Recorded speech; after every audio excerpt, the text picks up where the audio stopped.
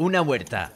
Tareas de desbroce. Las últimas lluvias hicieron crecer la hierba. Y siembra de tomates. Tomates felices. Es el nombre del proyecto que usa el cultivo de hortalizas como terapia para personas con enfermedad mental. Queremos utilizar la huerta, el cultivo en la huerta, el contacto con la naturaleza, como medio para llegar a esos objetivos que nos proponemos y facilitarles también conocimientos sobre habilidades sociales, eh, gestión del tiempo, gestión del estrés. Es una iniciativa de FEAFES, entidad de ayuda a este colectivo en Arroyo Molinos de León, un pueblo de mil habitantes en la Sierra de Huelva. Sebas es su responsable y el autor de la idea. Marilí, una usuaria que encuentra en la huerta lo que necesita para mantener la estabilidad que ahora tiene. Que la gente compre los tomates, bueno, en principio porque estén buenos, pero también por, por darle a la causa un poco de, de empuje, ¿no?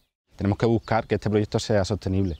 ¿De qué forma? Pues vendiendo las hortalizas a comercios, bares y restaurantes de la zona. Así, los cinco usuarios con los que de momento cuentan podrían tener un futuro laboral y quieren llegar a más personas con enfermedad mental de la comarca. Vamos a sembrar más cositas, vamos a sembrar berenjenas, pimientos, calabacines, pepinos. Y bueno, esto es un proyecto que va, lógicamente, necesita su tiempo, ¿no?